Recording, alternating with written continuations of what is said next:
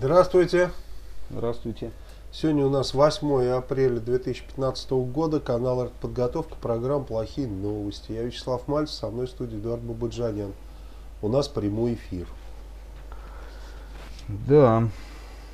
Вот сообщение от наших спонсоров. Здравствуйте. Пока есть возможность, решил еще перевести вам на победу. Нам на победу. В смысле, всем нам, да? Всем нам. Спасибо. Э, Вячеславу, вот мы говорили там, ну, как бы реплика. Всего за полтора часа не успеть факт. И делить не надо. Ерунда, не ерунда, зрители новости. Пишем вопросы, в большинстве случаев, думаю, искренне. Ну, да, мы, у нас нет такого жесткого формата, да. Ну, мы Да. вот спорили, а что новости, а что. Ну, кому-то кажется, вот ерунда там, кому-то больше новости нравятся, кому-то какие-то исторические факты, ну, не знаю. Это у нас все новости, даже исторические Ну, в общем, факты. да. Добрый день, ребята. Я к астрологии отношусь с долей здорового скепсиса, но недавно прочитал прогноз Глобы за, 12, а, за 11 год, где он предсказал начало Третьей мировой, Третьей мировой во время Олимпиады или через 5 дней после ее окончания. Но вопрос такой интересный. Чем из провизии запасаться в первую очередь? Руслан, который живой. Ну, мы говорили. А какой смы- смысл? Ну, йодом, может быть, так, Да, на всякий конечно. случай. И Ну, то, мне кажется, вряд ли поможет. При ядерной войне, конечно, йодом. Только не таким йодом, которым ранки прижигают, а аптечным имеется в виду в таблетках йод. поскольку э, радиоактивный йод радиоактивный, да, он забивает эту щитовидную железу, конечно, вот, да, но у него период полураспада, что-то 21, что ли, 23 дня, ну, ерунда, короче. Если продержаться 21 или 23 дня, то все нормально. То есть надо облопаться этого йода, только не как граждане там на сахар выливают и пьют. Такой йод не сильно работает, а обычного аптечного вот этого. И все нормально. То есть можно проскочить, что называется. Или как говорил доктор Пилюлькин, помнишь, да? С- сверху надо не меду, а йоду, а внутрь надо касторки. Ну да. И вот такой, ну, длинный вопрос. Начиная когда-то войну с этой хренью, вы в любом случае взвешивали все за и против. У вас семья, бизнес, как это, легко, тяжело. Просто человек интересуется, ну, как бы, а, ну, то есть тоже как бы выйти вот с таким же продуктом, как у нас, ну, каким, с каким-то своим. И насколько это, ну, я не знаю, мы думали об этом как Правду говорить легко и приятно, да. Ну да. Поэтому не знаю. Ну, Тут ну, по-моему, мы вообще не обсуждали вопрос о том, а вдруг это там, ну, как, как, как сказать, нет, не тяжело, а в том смысле, что а вдруг нас там арестуют или что, да? Да, ну, вообще, э, ты- тот, кто занимается политикой, он каждую секунду должен рассчитывать на то, что с ним случится, случиться могут какие-то проблемы. Но они бывают и Ну да. по-другому случаются поводу. Поэтому как-то особо сильно не боялись никогда, это точно. Тебя это как бы не, ну, никак не перенастроило, только режим изменился. да, Ну, так, наоборот, когда ты же знаешь, когда начинают там какие-то обыски устраивать или еще что, я очень сильно напрягаюсь, очень сильно злюсь. Помнишь, когда был последний обыск, что я заявил, если они не прекратят немедленно, ну, с Кармишиным там вот все дела, э, я создаю официальный комитет по борьбе с Путиным и, в общем-то, открываю набор волонтеров. И, и что потом случилось? Я им дал неделю. Что произошло, помнишь? Ничего, все они свернули мгновенно. Больше меня ни разу ни на какие допросы они не вызывали, потому что они обосрались. Мгновенно скажут, ну и нафиг этого Мальцева. Сейчас он еще что-нибудь придумает. Завтра ружье пойдет и возьмет и к Кремлю пойдет. Им это не нужно ничего. Ну вот, э, такие вопросы. И вот э, ты просил напомнить, завтра в полдень будут э, собирать вопросы Путину. Да, потому что там 16 что ли будет это мероприятие.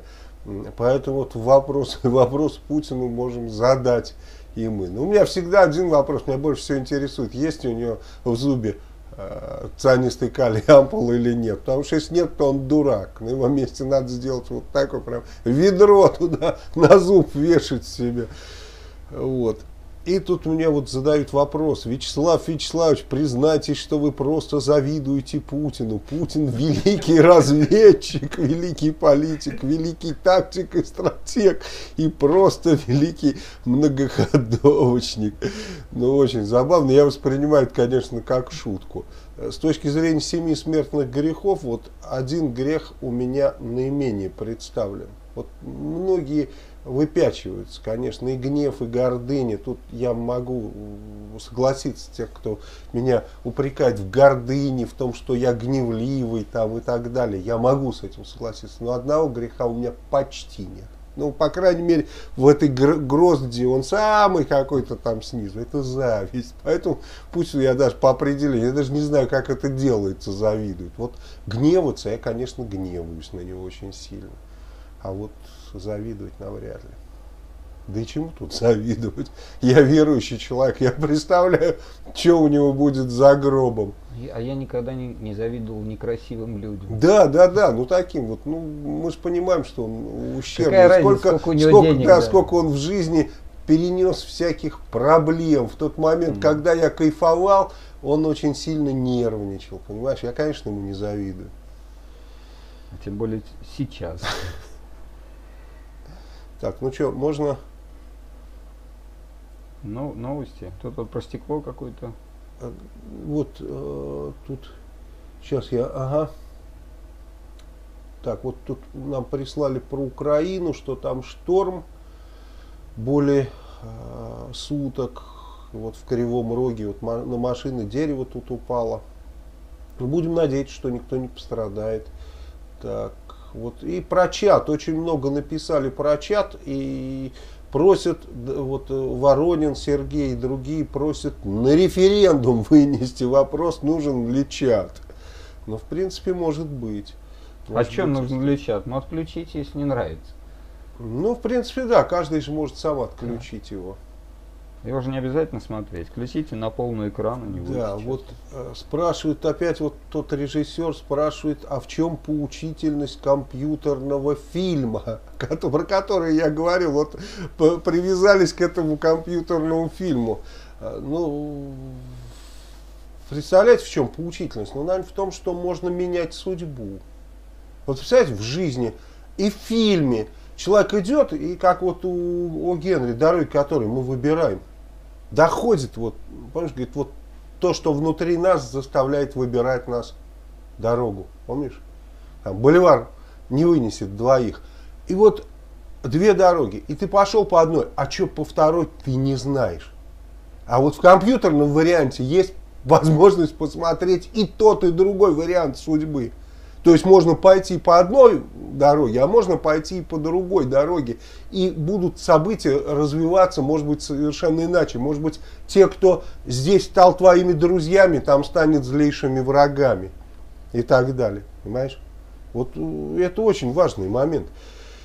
Вот я написал также э, про, про войну, вот я написал э, в компью, компьютерный фильм про войну, вот про Вторую мировую, что в эту же минуту можно увидеть, что происходит на другом фронте, на другом театре военных действий, вот в эту же секунду, представляешь, что там 43 год, э, это самое, э, допустим, 15 июля, э, Курской битвы, мы можем посмотреть, что в штабе Гитлера, что в штабе Э, Сталина, там, в Ставке, вернее, главнокомандующий, что у Черчилля, что у Рузвельта, что у японского императора происходит и что э, происходит в Африке и на Тихом океане. То есть это, это совсем другой вариант учебного фильма, а в то же время это может быть историческая документалка. Ну и как учебный фильм он очень насыщенный может быть. Ну давайте больше про это не будем говорить. А, так против Навального, Пономарева и других оппозиционеров возбуждали уголовные дела за экономические преступления. Почему против вас нет таких дел? О как. Ну, во-первых, вы понимаете, и Пономарев, и Навальный, они, э, как бы, можно говорить, что там в их действиях нет состава преступления, да? Угу. Но у меня и действий-то нет. То есть у меня, у меня нет, нет того, что могло бы инкриминироваться как событие преступления. Я не занимаюсь экономикой, не занимаюсь вообще никакими экономическими вопросами. Подтянуть меня за это совершенно невозможно, иначе бы давным-давно это сделали. То, то есть, э, когда э, я был депутатом в трех созывах, понятное дело, что я не, ну, как бы голосовал за какие-то вопросы и не более того. Понимаешь, никаких взяток не брал, ничего этого доказать невозможно. Почему? Потому что даже те люди, которые носят взятки, они меня не знают. Я их на порог ни разу не пускал. Понимаешь, у меня даже с ними контакта нет. Поэтому, то есть я э, всегда знал, что я буду претендовать на э, то, чтобы быть высшим руководителем здесь. Поэтому я стремился быть абсолютно чистым в этом отношении. Вообще не заниматься никакой экономической деятельностью. Чтобы вообще даже близко никто ничего ко мне прицепить, никаких собак не мог. Поэтому, поэтому они даже теоретически не могут возбудить никаких дел. Так, вот эти вот письма будем, которые ты мне переслал, читать или нет, или уже времени нет? Не, ну как считаешь? Так, здравствуйте, Вячеслав писал вам в Твиттер, но ответа так и нет. Давно слушаю ваши передачи, и однажды возник вопрос, а что делать нам, если завтра Путин вдруг помрет? Как нам объединиться и активизироваться? Как мы узнаем друг друга? Пришла идея создать электронную партию, которая, в принципе, ни к чему не обязывает и не светится по принципу электронного правительства. Почему? И можно, а нам нельзя. Предлагаю или войти в совет партии, или возглавить, и, или просто участвовать в данной партии. Может, можете прокомментировать да, данное. Что я могу сказать? Партию, конечно, можно создать, нет вопросов и руководство открытое, но членство не должно быть открытым. Вы понимаете, что если мы создадим некую там электронную партию, где-то у нас будет сайт, там люди будут регистрироваться, но э, понятно, что это будет э, видно и для спецслужб, и для всех остальных, и будет возможность влиять на этих людей. Зачем нам это нужно? Мы говорили, что для того, чтобы э, принять участие в тех мероприятиях, которые начнутся после того, как этого ло-ло-ло здесь не будет, необходимо просто собраться в группы по 5-7 человек, уже четко определить для себя задачу, э, наладить контакт с другими группами. Вот у нас в Саратове с этим, в этом отношении все в порядке. Я не, не буду, как бы, не раскрою особой тайны, но, но если что-то произойдет, здесь несколько тысяч человек мгновенно будет под ружьем, мгновенно. Причем сейчас их никак они не могут идентифицировать. Потому что, ну, это совершенно разрозненные группы, так и в любом другом городе. Необходимо создать такую же систему, и все. Так.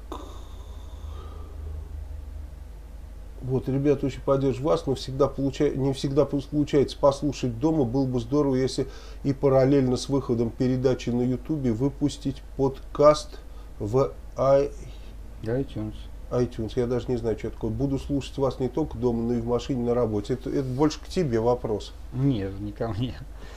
Это, ну, как мы говорили, ну, вот... Не, понятно, что а, ты да. прокомментировать, я имею в виду, его можешь. Я-то даже не знаю, что такое iTunes. Комментарий простой. Если у нас есть куча зеркал, да, ну, да. куча каналов, которые зеркалят а, наши передачи. Ну, если кто-то займется этим, мы не будем возражать. А это iTunes, это аудио или что это? Что ну, это? iTunes это этот э, сервис э, этого для айфонов, для айфонов да. А, ну понятно. С него нет, скачивают. У меня нет айфона, я не знаю, что такое. Поэтому да. Так что мы не возражаем, если кто-то даже может зарабатывать на этом. Вот. Здравствуйте, Вячеслав, в эфире вы упоминали э, про инвестиции в новые технологии, показали стекло, которое вырабатывает энергию. Я учусь Э, на данный момент в университете, нам рассказали про это стекло, оно будет использоваться в экологически э, чистом городе и так далее, который строится в Арабских Эмиратах. Вот есть тысячу долларов, человек пишет, надо ли туда инвестировать. Но если есть возможность, конечно, надо. Если вы сможете как-то туда проникнуть, как, я не знаю, я не специалист по инвестициям. Ну, вы учитесь в университете, вот вам флаг в руки, вы проникнете туда и нам расскажите, как это делается, мы тоже будем знать. Потому что, конечно, в такую технологию стоит инвестировать и, и, и точно не тысячу. ГИБДД опровергла взрыв цистерны, э, опрови- опровергла информацию о взрыве цистерны с газом на Минском шоссе в Подмосковье. Да, знаешь, как опровергли? А, Минское шоссе было закрыто, потому что пере- э, столкнулись там ЗИЛ и МАН, перевернулась цистерна и загорелась, и выгорела. Но не взорвалась. Вот замечательно, то есть Мгм. цистерна с газом Хорошая цистерна. Да, ну, то есть взрыв они опровергли. Да, была авария, да, сгорела нафиг цистерна, но не взорвалась. Полиция направила на исследование фрагменты металла из воронки под Читой. Да, вот тут какая-то фигня упала с неба под Читой и взорвалась очень сильно. Вот куски металла и почему-то заявили, что скорее всего этот какой-то это какой-то баллон упал. Я не знаю, какие баллоны с неба падают и взрываются. На баллон, конечно, это не похоже, потому что баллоны, как известно, сделаны из вязкого металла, чтобы взрываясь не было разлета осколков, чтобы они разворачивались. Просто я помню, как пришел на завод работать после школы, расписался за технику безопасности, мне сразу же показали такой развороченный баллон, объяснили, что нельзя брать масляными руками, а потом привели в цех, э, где я расписался э, по работе на прессе. Мне сказали, что абсолютно точно нельзя быть поврежденным, когда работаешь на прессе, если все нормально. Я зашел в цех и увидел, что нет ни одного человека, у которого бы были все пальцы. Я, я для себя сразу все понял. Так и здесь. Это никакой, конечно, не баллон, скорее всего, это пилонный бак от самолета. Очень похож на пилонный бак. А вот почему он взорвался, фиг ее знает. То есть, ну, в бак керосин, сбросил керосин-то не взрывается. Ну пусть разберутся. В общем-то интересно, потому что эта штука упала и повредила дом. Если на голову начнут падать такие штуки у нас в России, то, ну, наверное, будет неприятно. Российский программист согласился на операцию по пересадке головы. Да, вот э, Валерий Спиридонов такой, э, у него болезнь спины, серьезная какая-то мышечная атрофия, но я так понимаю, что это системное заболевание. И вот он э, решился сделать, ну, как пишут, да, а, вот мне очень понравилось, первым кандидатом на пересадку своей головы стал русский программист. Это вот так, лента.ру. Но пере- не голову пересаживают в данном случае, а к голове тело пересаживают. Если тонкости Мгм. русского языка, да, это да. же не голову пересадить программисту, бред вообще. Но какой-то, значит, вот итальянец Серджо Канаверо э, решил сделать такую операцию. Но ты помнишь, Стивен Хокинг хотел в 2002 году такую операцию сделать. Ну, И слышал, да. Да, и ждали даже донора, а потом отказался от этого. То есть я не думаю, что у Стивена Хокинга лучше ситуация, чем у этого Валерия Спиридонова, да? Но он отказался. И многие вот... э, А я- Мне жутко интересно, как... Вот ведь обезьянам перешивали, да?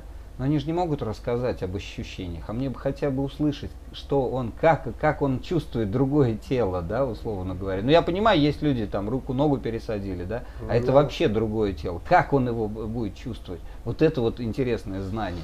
Ну что ру- русскому программисту должны пересадить, это как бы классика. Все-таки Беляев написал голова профессора Да, Доволя да, да, да. с пересаживанием там голов и тел и так далее. Но на самом деле вот Если фантаст написал, то все, оно когда-нибудь сбудется. Ну, я бы не рекомендовал ему это делать. Вот чует мое сердце, что этого не надо делать. Как правильно тут один нейрохирург сказал, что есть вещи гораздо страшнее смерти, да? Ну, ведь э- этот совет, он такой, да, ты сам понимаешь, что неважно, даже если этот откажется, следующий не откажется. Нет, конечно, что Всё, это уже есть- решено. Есть масса Да. людей, которые хотят более-менее э, жить приличного, а живут сейчас в ужасном. Ну, как вот Хокинг. Ну да. Понятно, что это страшная жизнь. И тут нельзя советовать этому человеку что-то, он сам да, должен он же скажет, ну вы решение. попробовали бы, а потом, да, говорю. Конечно, нет, нет, нет. Так что. Вот Рас- тут пишут, обезья... обезьяны дохли. Да, ну это- этим занимаются уже давно. Вы же знаете, вторую голову собаки пришивали, которая потом 40 дней жила. Да, живут недолго, это однозначно. ну. Может, ему он хочет один раз хоть пробежать. Ну да. Российские хакеры взломали компьютерную сеть Белого дома. Ну, Я, тоже. по-моему, только ленивый не ломал. Ну да, они залезли и какие-то очень э, секретные сведения собрали. Вот мне, ты знаешь, э, я сразу... кажется, они специально там спе- секретные сведения для хакеров. Вот, здесь Вот, я, я об этом тебе и хотел сказать. Вот представляешь, как сложно раньше было для того, чтобы передать дезуху, нужно вывести свежеубитого капитана с передовой, вернее, ну просто тело, переодеть в капитанскую одежду, наделить документами, дать ему сумку, да, потом ехать на мотоцикле рядом с немцами, чтобы они начали стрелять, потом, чтобы тот, который это самый, э, вел мотоцикл, убежал, а этого вроде они убили, и в сумке вот он пакет заветный, да, помнишь, как это Да, да. во время войны делалось, да, ну то есть такие сложности, сейчас никаких, сидит хакер такой умный, залазит и изымает суперсекретные Там- сведения, Да, то там есть такие дез- страшные Да. там эти, совершенно секретно, очень секретно, да. коды какие-то, Не пароли. вздумайте ввести такой-то пароль, да. Ну да, то есть про братца Лиса сразу вспоминаешь насчет тернового куста. Только не вздумай кидать меня в терновый куст. Вот так и здесь. Ну, возможно, так и распространяется дезинформация. А если еще не распространяется, то сто процентов будет распространяться, потому что, ну, э, как бы это самый простой путь. На свидетелей по делу Немцова оказывают давление спецслужбы, пишут СМИ.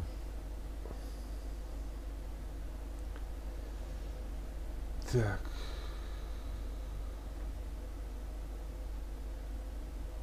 Имеется в виду не э, свидетели по делу Немцова, в в общем-то, а свидетели по а, тому а, материалу, который собирал Немцов.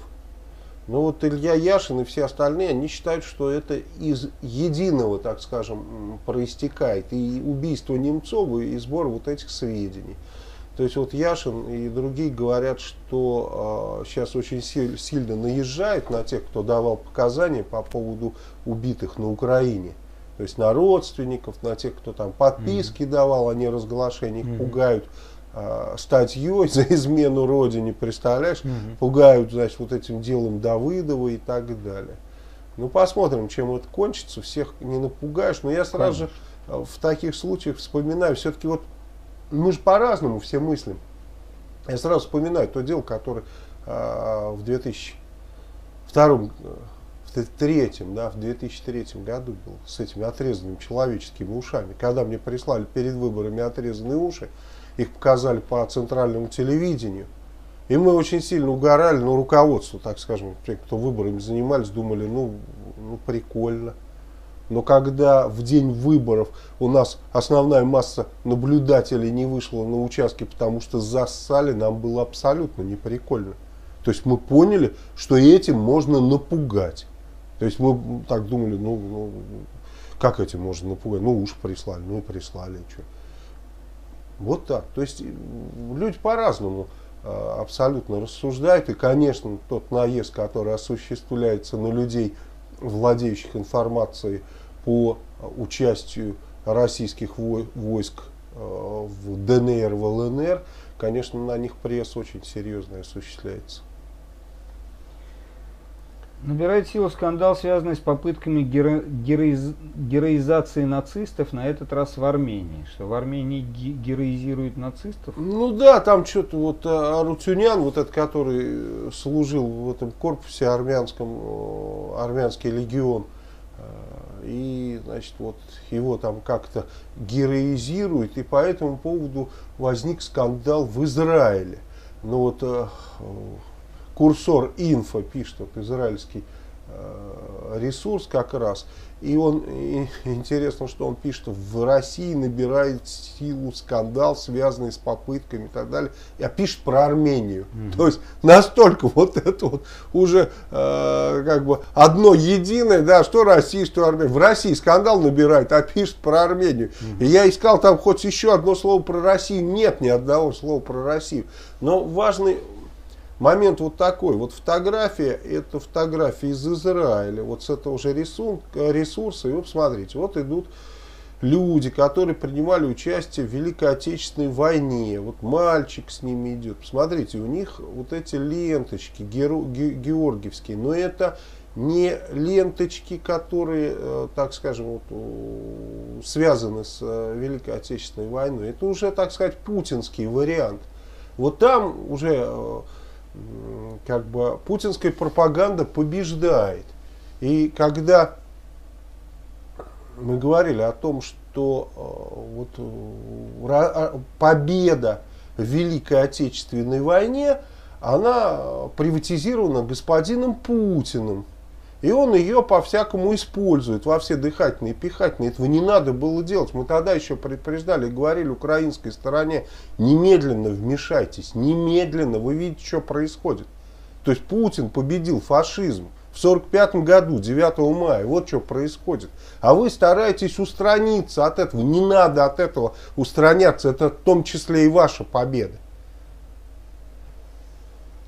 С начала недели пошел поток информации об увеличении трафика завоза со стороны России вооружения, вооружения тяжелой техники в ДНР и ЛНР. да. Говорю, да? Не, ну тут э, вот меня спрашивают, а зачем завозят эту технику, там будут продолжаться бои и так далее. Ну на самом деле, что вы понимаете, что сейчас там объявили сдачу оружия. Угу. И вся вот эта техника, она на самом деле непростая техника, она наверняка и с военнослужащими. Сейчас главная задача вот у тех, кто проводил в Ростове вот это вот, как оно учение, заслон 2015. Они же, я думаю, там такой же заслон проводят. Их главная задача сейчас всех там разоружить. Чтобы остались только войска, преданные Захарченко и Плотницкому, и больше никого там не было. Вот главная задача. Мы э, предупреждали, мы говорили об этом, что неплохо было бы украинской стороне связаться с теми людьми, которых сейчас пытаются э, разоружить. Мы говорили об этом, когда их еще и не, и не собирались разоружать. Теперь они поняли, может быть, мы им даже подсказали, да, угу. когда про ярлык на княжение начали говорить.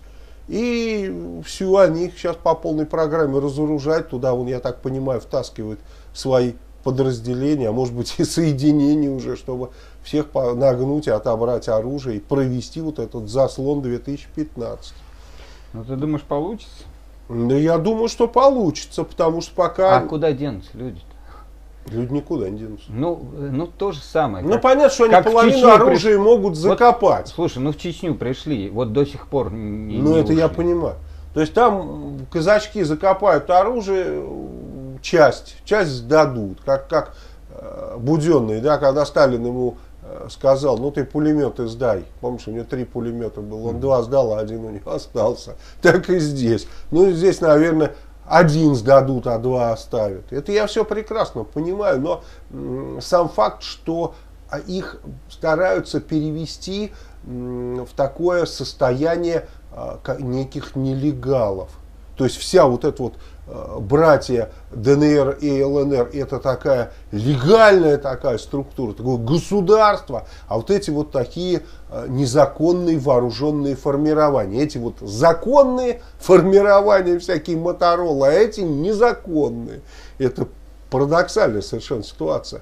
И вот, кстати, тут э, сбросили нам мы вчера говорили по поводу, там убил кого-то Моторолу, не убил. И вот Александр Скрипник, тут э, дает интервью, он был в плену и рассказывает, что у него на глазах этот Моторола убил э, бойца, которого вначале избили жестоко, а потом убил. И вот э, тогда у меня вопрос такой, если такие сведения абсолютно точные и подтверждаются, почему не объявлена награда за живого или мертвого Моторолу?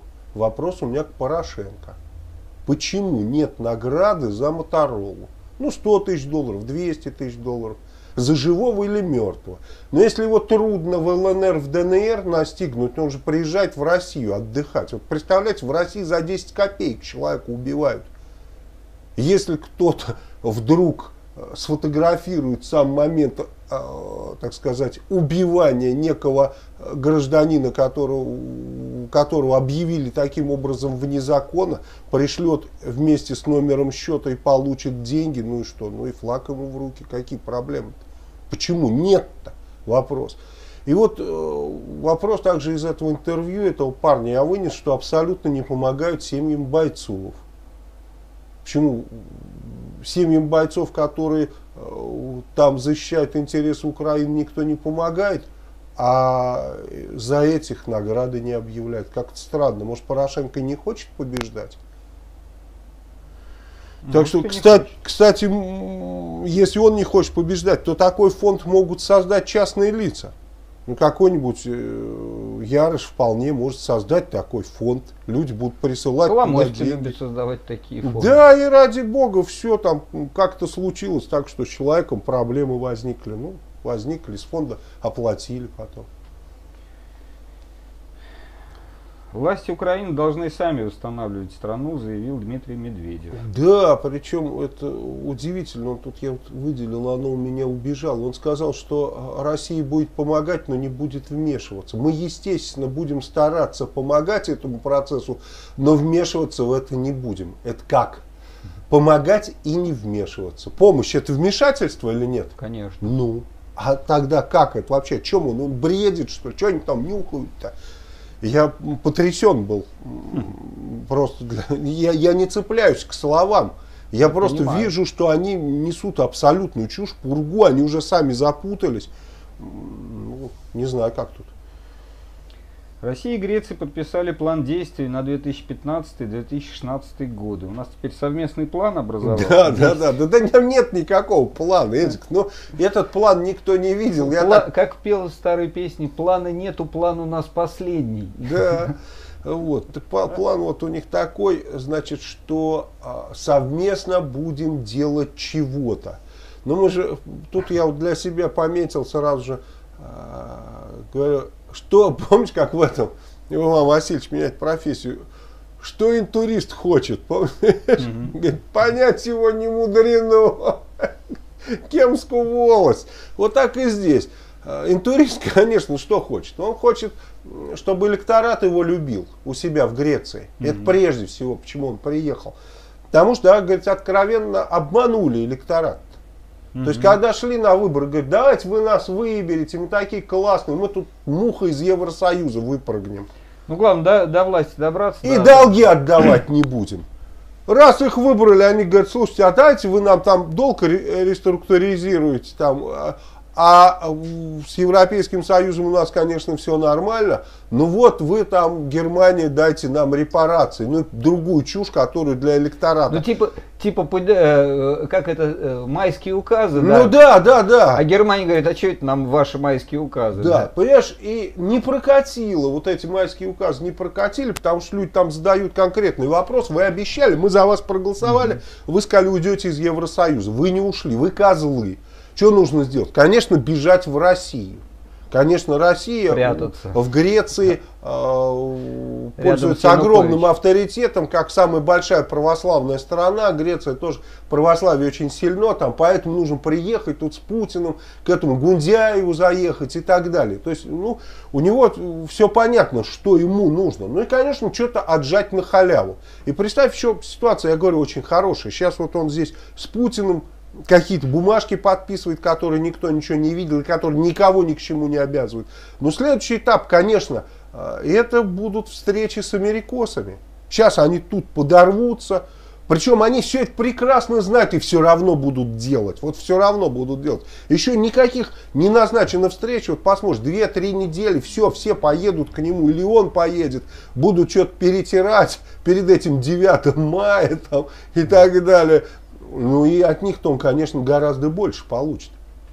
Он, Путин говорит, он там не задавал никаких вопросов по поводу кредитов, но если вот будет у нас совместное, то мы там денег дадим. И в связи с этим вопрос, а что нужно Путину? Что совместное хочет Путин? Ну, об этом не говорили, но мы понимаем АЭС. Первое это АЭС, конечно. Но он от всех почему-то хочет АЭС. У него пун пунктик такой. Вот там угу. где-то застряло в голове, что везде нужно построить атомную электростанцию. А лучше две. Да, лучше две, а лучше шесть, да, как он этим обещал там в Пакистане. Вот, значит, э, Здесь он тоже, наверное, говорит, давайте мы вам там строим за свои бабки, потом будете сто лет рассчитываться там. Но этот, наверное, машет головой, сам думает, нафиг мне Ну, вот. Слушай, а может они какую-нибудь технологию быстросборную придумали такую? Не знаю, такой, как ларек, Ну, хра- сварной. так. Храмы собирают, да, Ну да. на скорую руку. Может, такие уже Вот. у них эти. Ну, естественно, они что-то насчет газовой трубы там маркетанят. Понимаешь, причем они ж сами понять не могут, что, потому что турки ни на что не согласились. А это звено главное. То есть, может, с греками договариваться о чем угодно, Ну но да. между ними турки находятся. Поэтому, и, конечно, очень важный вопрос, связанный, как там сказано. И, и я м, даже вот не знал, что они будут это обсуждать. Вернее, э, не- об этом не анонсировалось. Но я ночью записал. Тема вложения капиталов Ротенбергов, Тимченко, э, кого? а, Сечина, С у меня пропала, Сечина, Якунина. То есть, э, и тут маленькая такая строчка, что обсуждается вопрос там приватизации в Греции. Ну, конечно, обсуждается. Конечно, эти ребята хотят туда с бабками въехать. Не сюда же. Здесь все разрушено. И ничего не заработаешь. То есть вкладывать, здесь только вкладывать, но ничего не получать. А там можно вложить и смело получить. Поэтому наши деньги они повезут туда. И это очень важный для них вопрос. Президенту Российской Федерации доложили об инциденте с, э, с подводной лодкой «Орел», сообщили их пресс-секретарь Дмитрий Песков. Да, сообщили. Орел. Слышь, орел, у нас орел сгорел. Да. Вот. А мне парни вот прислали Вячеслав на звездочке, но это на заводе. Не просто загорелась, а взорвалась подводная лодка в 10 цехе. Есть пострадавший знакомый, там работает в ожогах весь. Так что вот э, немножко информация не такая, как ее представляют. Причем замечательная ситуация. Э, э, Следственный комитет возбудил уголовное дело за, как вот точно, чтобы сказать, так, так, так, куда он делся, господи. Ну, за значительный, короче, причинение значительного ущерба, да. Мгм. А эти ребята из компании, из этой ОСК, которая э, вот, э, объединенная судостроительная компания, говорят, да нифига страшного вообще. То есть крупный ущерб. Дело о крупном ущербе возбуждено. А это, говорит, никакого ущерба нет, все нормально. То, что лодку сбросили, утопили, и так, она перед этим горела несколько часов, какой-то ущерб. Это ерунда. Ну, понятно, что, в общем-то, этим ребятам никак не хочется получать геморрой. Но вот вопрос у меня такой вдруг возник. Вот вчера мы уже задавали этот вопрос. Я уточнил, посмотрел, и оказалось, что это десятая по счету лодка, которая сгорела. Представляешь, 10 лодок я сосчитал, которые сгорели, причем почти все в результате сварочных работ. 6 сгорело на вот этой заводе звездочки. И все, которые сгорели на звездочке, в результате сварочных работ сгорели. Это что такое?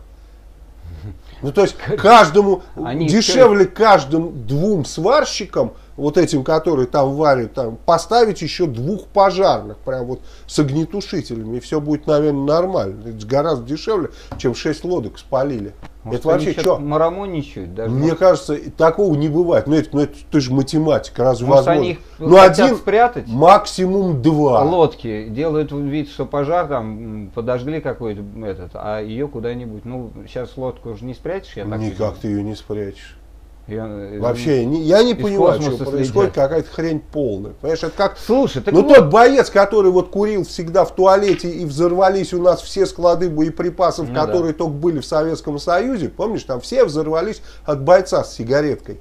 Ну, там-то было понятно, там все украли, понимаешь, все украли, надо было списать, все сожгли, взорвали. А здесь что происходит? э, зато этот вопрос появился к Путину на 16 число. Ну да, почему лодка столько сгорела? Нет, нет, нет, нет. Вопрос звучит так. Да. Что случилось с подводной лодкой «Орел»? Утонула или сгорела? Нет, Она про- утонула. не надо расшифровывать, надо задать ему этот вопрос. Как он от- ответит? Если, как бы он не ответил, Она она утонула сгорела. или она сгорела, это уже все равно, да? Все по кругу, да? Да, конечно. Путину также доложили о разграбленном олимпийском поселке Призраки. Да, вот такое веселое псоу. И он услышал, да, наверное, да. даже ему все докладывают. 1 апреля комиссия пришло. Представь, поселок Веселое Псоу. 1 апреля приходит, а там и людей практически нет. Там э, что-то 79 индивидуальных домов нашли в этом поселке, угу. а заселены только 17. Остальные все расхищаются. Бешеная очередь в Сочи за жильем, а там это, То есть свободные это те, дома стоят. Те, кого выселили, да, и обещали их да, куда-то подселить да, да. потом. Да. Это вот для них строилось. Да. Причем это не один поселок. Вот э, еще возле села Раздольное есть на берегу Министерских озер, так называемых, такой же поселок, там в еще худшем состоянии. То есть все заброшено, уже все разворовали и то есть сейчас селить уже людей нельзя, потому что все украли, окна выдрали, там все разбомбили, и никому дел нет. Там даже людям, я так понимаю, некуда за электричество платить, от них даже управляющие компании отказались, потому что ну, они же не дураки, они понимают, что если ты управляешь, тебе надо охранять. Охрана стоит денег, ты столько с них с 17 домов не получишь столько денег, сколько ты потратишь на охрану. Поэтому сказали, ну оставь.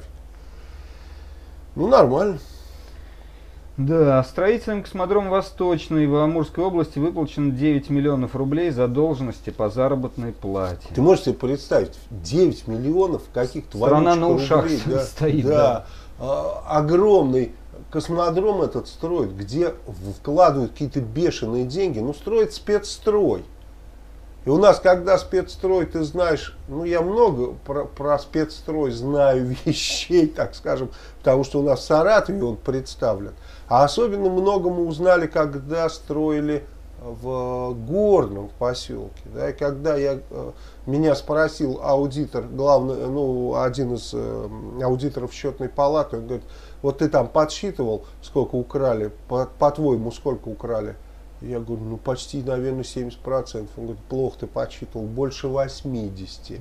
Ну, то есть больше 80. Мы помним все, что в Саратове были э, огромное количество так называемых помоек. То есть десятки фирм, которые были созданы для того, чтобы отмывать вот эти деньги, которые шли в горный. И то есть было все построено с бешеными нарушениями, ну как можно там меньше чем за 20% построить, конечно.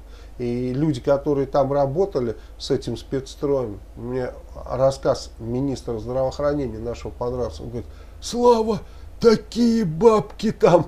Я говорю, Валь, и что там, какие? Он говорит, ну вот, собрали, говорит, они сидят, говорит, один, говорит, я его даже не знаю, какой-то совсем мелкий.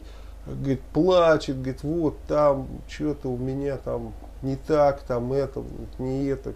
Говорит, ну, что мне денег никто не дает один из руководителей сидит, говорит, ну он затрахал, говорит, ну дайте ему миллиард. Говорит, ну ладно, на тебе миллиард. Понимаешь? Вот так дела, что миллиард на тебе. Поэтому 8 миллионов, ты представляешь, 9. то есть 9, ну там, знаешь, под ноль вообще, вот как корова языком все вылизывала под ноль. Mm-hmm. Потому что э, мы, мы знаем, как приезжает представитель, тоже только в Камбарке, ну мы занимались этим вопросом, тоже уничтожение химического оружия. Представителям спецстроя приезжают военные вот эти химики, которые занимались, ну они э, из организации, которая называлась по безопасному хранению, уничтожению там, э, и относился к Министерству промышленности, но при этом все в форме в генеральской. Один приехал, и мне товарищ рассказывает, он приехал, говорит, я с них без джипа не слезу туда в камбарку уезжать, все в джипе, в целлофане, уехал на этом джипе, все нормально. А то он приехал какой-то документ маленький подписывать, он говорит, без джипа не слезу с них. Все, вот так, так. Там та же самая ситуация, еще хуже, поверьте. Потому что там еще не разваливалось все нафиг. Следственный комитет возбудил дело по этому факту. Так. Невыплаты зарплаты. Ну, это понятно, что возбудил дело, потому что а, те люди, которые, ну, как бы все похитили там, они, наверное, не в системе. Им таких полномочий, наверное, не давали, чтобы они все похищали. Но теперь их будут, наверное, выдавливать так, выдаивать. Посмотрим. Все выжившие моряки-иностранцы затонувшего траулера «Дальний Восток» взяты под административный арест. Ну, я вот для себя написал, пострадавших надо лечить и психологически реабилитировать. А для этого нужно принять решение, где это лучше сделать, в РФ или у них на родине. Принимается решение, что лучше их посадить в тюрьму. Понимаешь? Ну а что, они там свалились в воду в эту ледяную. Там, э, представляешь, то есть, какой посттравматический синдром там. То есть эти люди, они могут и через 40 э, дней, и через 2 месяца просто взять и умереть.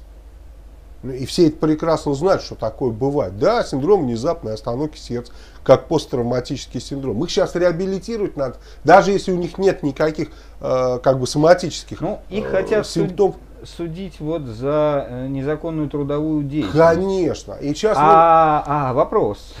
Да. Вот борт корабля это территория, да? Нет, это территория это не важно. Их принимали на работу на их условиях, в их государстве. Да, я об этом хотел спросить. Борт корабля-то, это вообще никакого отношения. Это, понимаешь, вот власть подонков, абсолютно Они могли, подонков. да, не знать, кто, ну, в смысле. Да им вообще до фонаря. Они, они были в порту своей, Конечно, они сиди, сидели, им да. говорят, хочешь рыбу ловить? Да, да. хочу, садись. Понимаешь? На деньги, как, да. Их сейчас зачем закрыли? Это же понятно, зачем закрыли. Их будут держать 15 суток, будут прессовать. Для того, чтобы они подписали бумажки, что они будут обращаться ни в какие суды, отказываются от всего и так далее. То есть это натуральная прессовка. Для того, чтобы потом с ними не было никаких проблем. То есть сейчас с них получат еще нужные показания. Это тоже очень важно. Там же нужны какие-то определенные показания. Вот я написал для себя, вызывают оторопь решения прислужников этого богомерзкого режима. Богомерзкого и человека ненавистнического режима. Вот так можно сказать. Действительно, представляешь, э, люди попали в такую ситуацию, и они же оказались виноваты. Вот эти вот, кого набрали, там этот трал тянуть, там я не знаю, что там делать, но всю черную работу, их там ни капитанами, ни штурманами взяли, правильно? Mm-hmm. То есть они-то за это точно не отвечают. Ну а их вот нашли способ, закрыли. Роскомнадзор, ну, они вообще смешные, да. Роскомнадзор через суд запретил использовать фотографии знаменитостей в мемах и фотожабах. Ух ты. Страшно теперь а, всем будет. А фото лягушках можно ну, их да, использовать? Это, это бред. Причем, там, знаешь, как они пояснили, что те, которые являются положительными, те можно. Те можно, а которые отрицательными, те нельзя. Вот ты мне скажи, вот Хорошо, вчера, для чего вот вчера это мы, для мы говорили о том, как пиарится Навальный, да? Вот да, был да. этот, э, как его, э, корейский вот, вот этот вариант, э, там Тушканчик, смерти пляшущий да. под дудку США, да. ну и так далее. Ну, то есть пародия, которая, я так понимаю, с его, по его заданию было сделано для того, чтобы в период, когда надо говорить, что это все козлы, их надо поставить к стенке, включая э, все высшее руководство этой РФи. Но он отмалчивается, он как пытается лавировать. Ну а в связи с этим нужно привлекать как-то внимание. Вот он делает э, вот такие вот как их назвать это, ну, ролики, так их назовем, которые никого ни к чему не обязывают, но прикольно. И вот это положительно или отрицательно? Вот, вот такой ролик про Навального, он положительный или отрицательный? Вот как они вот этот Роскомнадзор разберется? Да нет, он же, я же сказал, это не для этого делается. Они же принимают закон для конкретных вещей. Нет, я понимаю. Я думаю, э, им нужно убрать Вовочку Путина из да, Твиттера. Конечно. Им Володина. нужно убрать МИД России, им нужно убрать усы Пескова, вот эти вот э, сайты, то есть эти... Конечно, самое главное, Вячеслав Викторович убрать, потому что эти так не реагируют сильно. А Вовочка Путин даже вообще не знает об этом. Не, ему же наверняка доложили. Да, ну, навряд ли. Ну, предлагаю нарисовать фотожабу на Роскомнадзор. У кого есть таланты, да, мы, мы, мы разместим. А, кстати, у Роскомнадзора мы все время говорим, у него же есть какое-то лицо, да, руководитель-то у него есть, пора его выйти, вынуть из тени, да, и угу. уже начать на него делать фотожабы. И пускай он сам подает, ну, как бы сказать, э, в суд, да. Продажи автомобилей в России в марте 2015 года сократились на 42,5%. Это по отношению к прошлому году? Да. Ага. Ну, серьезно это. Мы же понимаем, что автомобильная промышленность, так же как и строительство, это локомотив. И да. когда говорят, вот мне задают вопрос, рубль укрепляется, там какие-то люди пишут за денежки Путина о том, как замечательно экономика развивается независимо от санкций, ну вот объективный вам как бы э, этот как лакмусовая бумага, как тест объективный, mm-hmm. да, вот 42 э, с половиной процента. Это очень серьезно. Дальше, я думаю, будет еще больше. Не, Силуанов сказал, все, все ништяк пошло, видишь, рубль растет. Все прям буквально вот со дня на день будет нам счастье. А вот МТС, свободный от санкций, сохраняет доступ на зарубежные финансовые рынки и может занимать как в рублях, так и в долларах. Да, я тут даже вот проч, прочитал и записал. Совокупный долг МТС на конец 2014 года составляет 292 миллиона рублей. Чистый долг 185 а, миллиардов, миллиардов, 185 миллиардов рублей, ну и так далее. И вот, Эзик, я никак не могу понять, каким образом МТС может задолжать. А? Не, я понимаю, что они брали кредиты. Да. И сейчас они тоже хотят 500 миллионов кредит. Вопрос, нафига МТС кредит? У них высокорентабельная система. Производством я это не назову. Высокорентабельная. Зачем им кредиты? Вопрос. Куда они их девают? Современная экономика так устроена. Да причем, это можно сказать все что угодно. Нет, ни одно предприятие не работает без кредитов. Нормальное, большое. Я, я готов об этом разговаривать, но в течение многих и многих не, ну часов. Ну если, если, я могу это объяснить, если у людей, не в двух словах. Если у людей 3000% прибыли, зачем им кредиты? Ну, ты рассуждаешь, как все рассуждают, кто, как не предприниматель и не капиталист. Ты же не капиталист, нет, почему, предприятие, почему предприятие берет кредит? Это тема очень большая. Ну, Понятно? Это система почему такая. предприятие, у которого 3000% прибыли, берет кредит? Я же говорю, ты рассуждаешь не как, э, не как капиталист. Ты рассуждаешь исходя из того, я купил яблоко за рубль и продал за два. И на это не яблоко. 3000% прибыли не относятся к яблоку те суммы, которые они берут, гораздо меньше их прибыли. Зачем брать сумму? Я понимаю, если у да. них 3000% ты, прибыли, и вот столько, а они берут эгегей сколько. Что про производство и вот, собственно, само предприятие, это одно и то же. Нет, это суть разные вещи. Производство, оно работает своим чередом, и у них там деньги какие-то свои а финансовые, э, так сказать, э, дела предприятий, это финансовые дела предприятия. Сейчас большинство крупных компаний зарабатывают деньги на финансовых рынках, а не на том, что они производят. Компания Siemens зарабатывает, ну, я вот там читал статистику, 70% они зарабатывают денег на финансовых рынках, и только 30% на своих основных продажах. Поэтому берут они для, э, для игры на финансовых рынках. А это может называться строительством э, ну, газопроводов ну, понятно, и так далее, и так далее. Поэтому ты говоришь, на что они берут? На, на прибыли берут, собственно. Ну, молодцы, что ж. Ну, вообще каждый должен заниматься своим делом. На финансовых рынках должны финансисты играть, а МТС да нет, должны заниматься... Капиталы играют, сейчас. Я, я тебе говорю, ты не как капиталист рассуждаешь, а как, ну, как с точки зрения производства. Да нет, это не в этом дело. Вот а это побочный бизнес, может, можете считать у МТС. Но в результате Звонки. спекуляции они и попадают. Конечно. Они попадают. Так То есть в результате спекуляции влетает производство. А мы должны оплачивать их спекуляции. Конечно. Да нахер они нам нужны? Конечно, я же не говорю, что, что это правильно, да, условно говоря. Я просто говорю, как устроены э, Нет, это я понимаю. Именно потому, что современное предприятие работает одноконтурная система денежного обращения, а не двухконтурная, как в Советском Союзе была, понимаешь, наличный и безналичный. Здесь работает капитал, он и, и там капитал, и там капитал. Поэтому, конечно, быстрые деньги оттягиваются у, ну, как бы сказать, у, у капитализации, у медленных денег, у медленных прибылей. И все к этому идет. Это логика развития событий. Это не люди злые. Это так устроена финансовая система. Прошу прощения за мини-лекцию. Арбитражный управляющий вывел с Саратовского завода 12 миллионов чего? Рублей? Рублей. Или, или людей. Вот я для себя написал, почему кто-то решил, что арбитражные управляющие будут делать что-то, кроме воровства. Да? Вот. Когда э, принимался закон об арбитражных управляющих там, в 90-е годы, я сразу тогда сказал, для меня было абсолютно понятно, еще не было, я ни одного арбитражного управляющего не видел, я говорю, все, придут жулики и все разворуют. То есть это было совершенно очевидно. И, и сейчас почему-то вот, представляешь, вот там арбитражный управляющий украл. А что же он должен был сделать-то еще? А его для чего поставили? Разве не для этого? Конечно, для этого.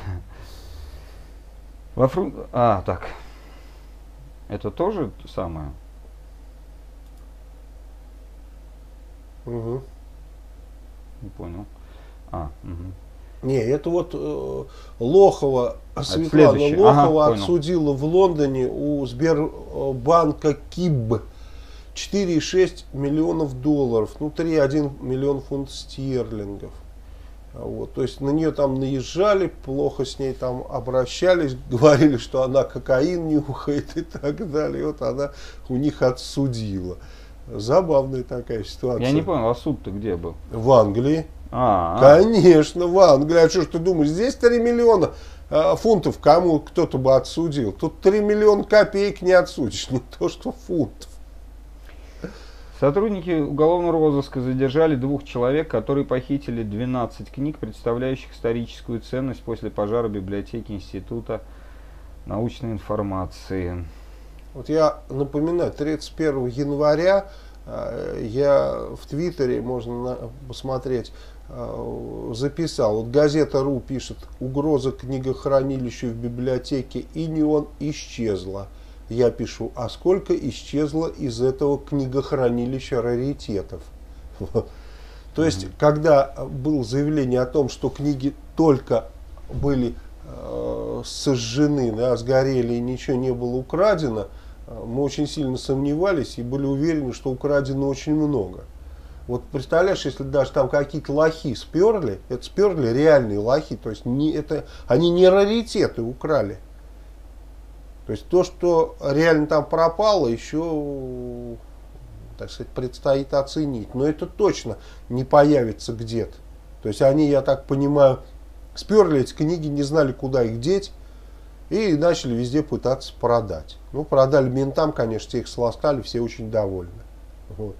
Ну, как э, те менты, помнишь, которые э, подразделению неведомственной охраны тоже уперли апостол, да, они что-то хотели за миллион долларов продать апостола. И, естественно, кому, они, кому можно продать? Ну, также таким же ментам или, или ФСБшникам, потому что а, они кого-нибудь знают. Те, кто ворует книжки, они, как правило, их не читают, поэтому они не знают тех, кто связан с этими книгами. Они начинают первого попавшего трясти, ну давайте купите. А это очень узкий круг, который, в который очень трудно попасть, там все друг друга знают, поэтому любой сбыт таких вещей лохом каким-то, он предполагает его попадание в тюрьму. А вот когда не лохом сбывается, то здесь 99% что он никуда не попадет. Потому что там все, там четкая система. И те раритеты, которые оттуда украли, мы о них не, скоро услышим. Московских полицейских задержали за взятку 50 тысяч рублей. Причем, а, я так понимаю, их уволили с работы. И, ну, не знаю, будет там что-то еще продолжаться или не будет. Они, а, я так понимаю, обещали, это патрульно-постовой службы полицейские, обещали, что а, там какие-то протоколы они составили, что эти протоколы они там ход им не дадут.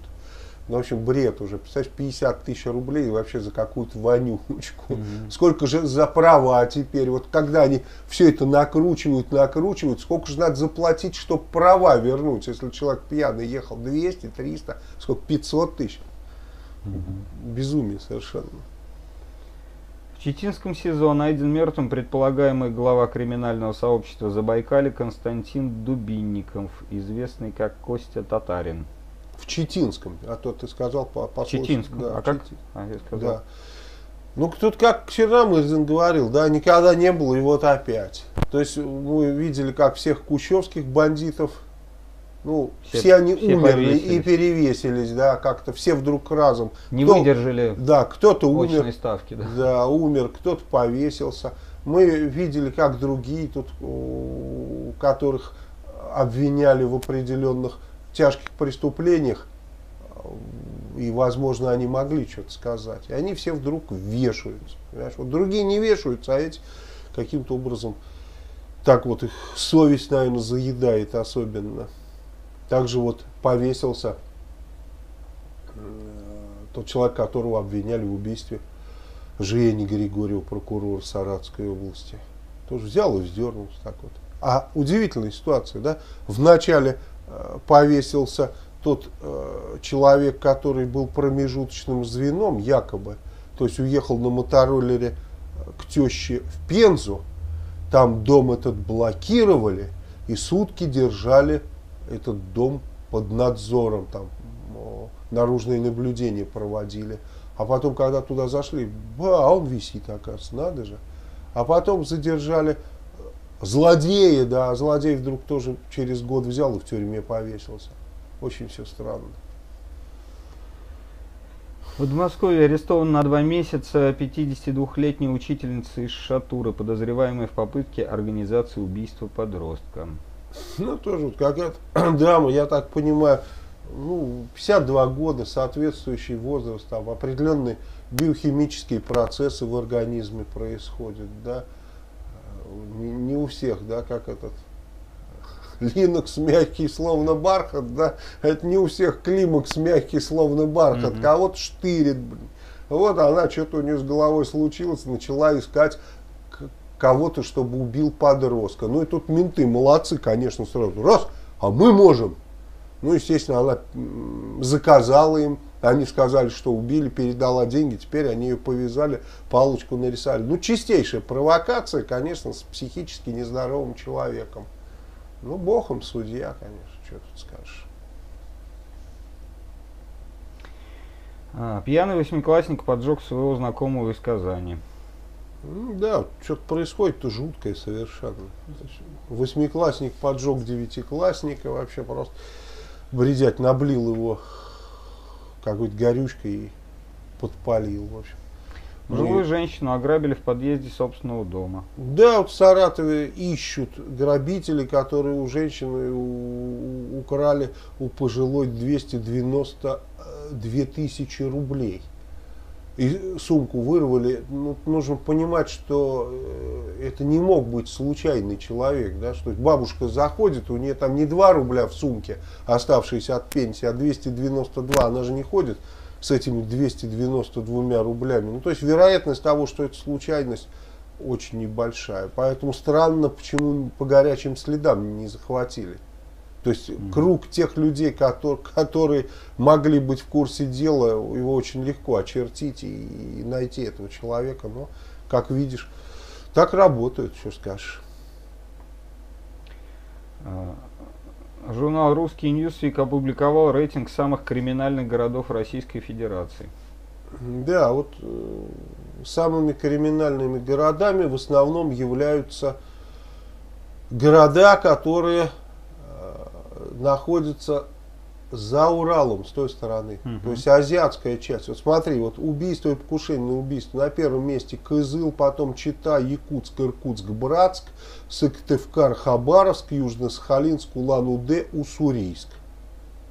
Представляешь? Угу. Изнасилование, покушение на изнасилование. Кызыл, Горно-Алтайск, Чита, Пермь, Березники, ну это Пермская область, Сыктывкар, Якутск и Листа. Ну, ты Листа видишь здесь. Вот. И, и Ижевск тоже здесь, и Екатеринбург. Ну, тоже можно считать, что почти здесь, да, там. Вот. Поэтому, ну и так далее. То есть по всем преступлениям Кызыл, это Тыва, угу. так скажем, родина нашего замечательного генералиссимуса Шойгу. Угу.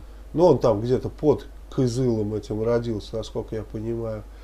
Вот. Он везде на первом месте, это Кызыл и все, что вот там за, э, за, Уральским, за Уральскими горами, вся азиатская часть, там что-то жуткое творится. Недаром, помню, еще в 2007 году Крохин притаскивал статью, потом я ее находил в интернете, э, дяденька один написал, он ездил туда, на Дальний Восток, в Сибирь, долгое время там провел на Байкале, и вот он описывал, что там происходит, что в малых городах люди за хлебом ездят на такси, чтобы их не убили и не отняли деньги, что в некоторых селах там осталось э, по несколько человек пенсионеров, а по 200 человек, по 300. Почему? Потому что э, пенсию на всех выписывают. Ну, там сами они хоронят, а там выписывают на всех, им долю малую какую-то присылают за это, чтобы они там помалкивали. Ну, а те, кто пенсией занимается, они, в общем сами все получают, все делят. Ну и так далее. Вот оно в виде мошенничества тут рассказывают. Да, вот тут предупреждают, что сейчас ходят какие-то вот жители Таджикистана, и не только Таджикистана, и помечают, ставят определенные знаки маркером на почтовых ящиках, э, маркируя те квартиры, где проживают одинокие люди, mm-hmm. у которых, в общем-то, никого нет, и ничего, кроме этой квартиры. То есть для того, чтобы то есть идет какая-то группа, ну как, как наружка действует, да, то есть есть э, наружка, а есть установка. Э, то есть работают одни, занимаются наружным наблюдением, выясняют, какие еще квартиры, а другие потом идут с установкой, приходят, здравствуйте, мы там из администрации, там, мы там с пенсионного фонда что-то устанавливают. Так и у бандитов та же самая система, что говорит о том, что они имеют представление о милицейской оперативной работе, да. Вот, то, то, то же самое, они, наверное, проводят наружные наблюдения, ну или собирают сведения из поликлиник откуда-то, а потом уже вот установка работает и фиксирует там на ящик, то есть таким, чтобы не, не по одному, а сразу, так скажем, большой кучей э, проводить какие-то криминальные мероприятия. В Париже в Ашан вместо бананов случайно завезли кокаин. Чуть они так в бананах-то все время. Ну, в, в, кокаин в бананах, потому что это из Колумбии, из тех мест бананы, поэтому легче всего их прятать. И Ашан вот э, во Франции это тоже вполне предсказуемо. Мы знаем, что во Францию, в Германию, там в Нидерланды привозят в бананах кокаин. И поэтому у меня возникает десятый раз один и тот же вопрос. Почему кокаин не привозят в бананах, случайно, это же ошибка. Почему не привозят в бананах в Россию? Ни разу не привозили. То есть во все страны по 10 раз уже ошибаются. Ну, потому что там этого кокаина наваливают битком. Что-то не туда пошло, там что-то подписали не туда бумажку с этими бананами. Ну, им же не принципиально, какие бананы туда, какие сюда. Они пришли не туда бананы. Вот в этот Ашан, а должны были там куда-то в другое место прийти. Ну и все, и вскрылось это. А в России такого не происходит.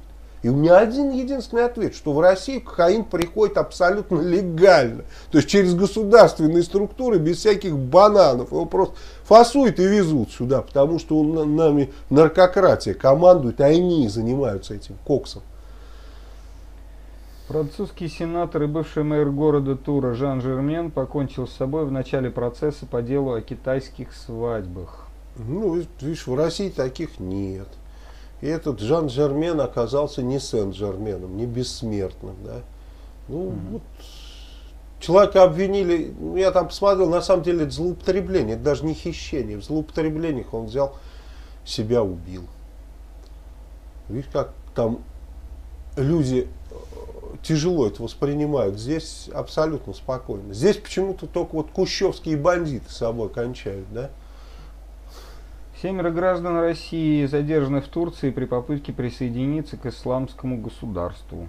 Ну да, мы говорили о том, что это будет продолжаться, и вот турецкие власти говорят, что уже с 2011 года задержали 59 граждан, тех, которые нелегально и незаконно хотели перейти. То есть это э, те, которые инициативные, так их назовем, которые вне системщики.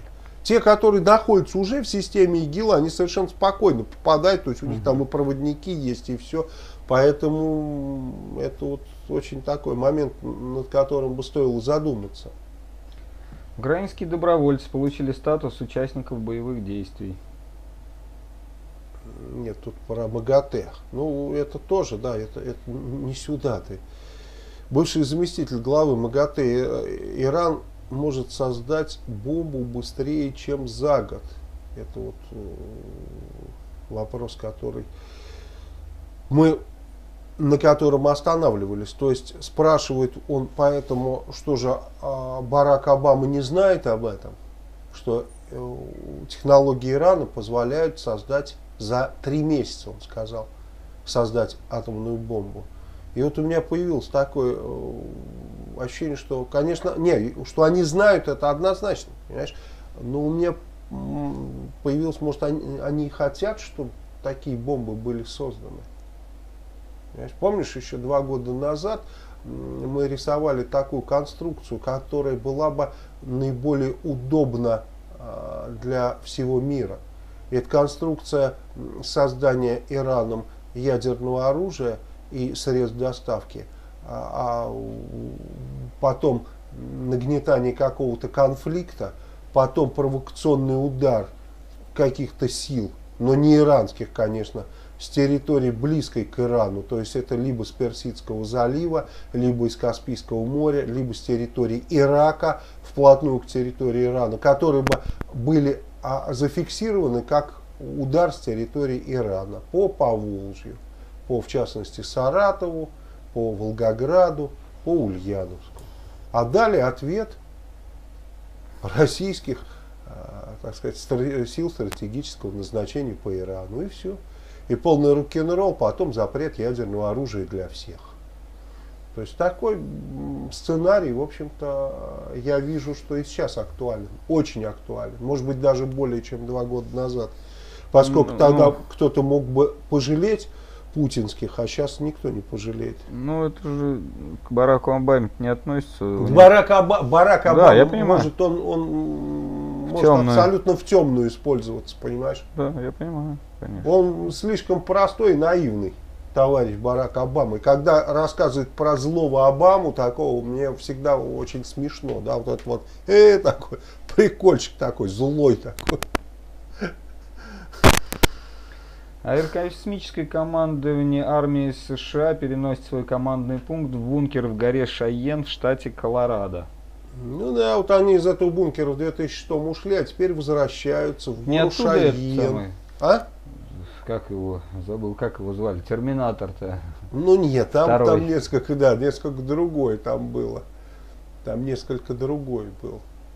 Вот. Хотя, ну, наверное, имелся в виду этот же самый бункер-то, да, ты прав. В третьем, ну, там же тоже в горе. В третьем, да, ну там все ламповое а, было, третьем, ты да. помнишь, да, в третьем там все ламповое было. Но у них, да, у них же а, вот с 60-х годов-то это был главный вот этого стратегического командования, центр, который везде описывается, вот, угу про Третью мировую ядерную войну, он везде описывается во всех фантастических рассказах. Ну что можно сказать, ребята всерьез начали к войне готовиться. То есть если они переселяются в гору, ну, значит они, в общем-то, знают что-то такое, чего мы не знаем. Добыча нефти в США побила абсолютные рекорды. Ну, это очень легко было прогнозировать, мы же говорили, что Соединенные Штаты будут сейчас наращивать. Получив разрешение на продажу за рубеж от своих властей, они будут наращивать и вывоз, так скажем, за границу. Сейчас со временем э, они, конечно, переплюнут и Саудовскую Аравию, если еще, уже не переплюнули, РФ, это совершенно точно. Министр, министр обороны Японии сделал официальное заявление об, об НЛО. Да, он официально заявил, что НЛО, НЛО там нету. В Японии, в Японии нет НЛО, заявил министр. То есть, что все вот э, вещи, которые как неопознанные э, летающие объекты были классифицированы, потом при опознании оказывались чем-то ну, вполне таким банальным, земным. То есть ни, внеземного происхождения не было ни у чего, ничего, ни, у, ни у единой, так сказать, э, штуки. Тем не менее, возле Международной космической станции был замечен диско, дискообразный объект внушительных размеров. Да, и дискообразный, и вот это что ли, какая фотография, тут все что-то уплыло. Вот дискообразный, да, объект внушительных размеров. И еще там сигарообразный тоже объект. Может, это какие-нибудь наводки на, на камере. Ну нет, сигарообразные очень часто. Не, я не, не говорю, что Не, это ну да. обязательно инопланетяне, но что вот эти сигарообразные объекты, они очень похожи друг на друга, что это как какие-то вещи, так сказать, идентичные тем, которые снимали до этого. Если посмотрите сигарообразные объекты, снятые из ка- камер МКС, то это и за 12, и за 11, и за какие только годы нет этих сигарообразных объектов. А сейчас очень просто их обнаруживают. То есть есть масса людей, которые вот это прямое включение, эм, которое транслируется в интернет, они отслеживают это прямое включение, смотрят, что там. Раз увидели, эх, нифига, вон там что-то пролетело. Ну-ка, давай отмотаем. Отмотали, зафиксировали. То есть масса глаз. Если раньше только там в центре управления полетом были глаза, которые за деньги смотрели, то сейчас деньги готовы платить, чтобы выполнять работу. Это парадокс. Когда мы говорим, что, что э, э, скоро придет время, когда работу будут выполнять только избранные, вот это к этому уже относится. То есть работа, связанная с космосом, ты посмотри, на Марсе там что-то заметили э, люди, которые добровольцами их назовем, да, вот с этими МКС тоже добровольцы. На солнце наблюдают, глаза жгут каждый день добровольцы. Тоже им никто никаких денег за это, естественно, не платит. Ну и мы тут с тобой вот вещаем, тоже добровольцы. Но мы хоть политикой занимаемся, понимаешь? А люди астрономией занимаются, люди инопланетяне ищут у них. Ученые переслали сообщение из одного мозга в другой.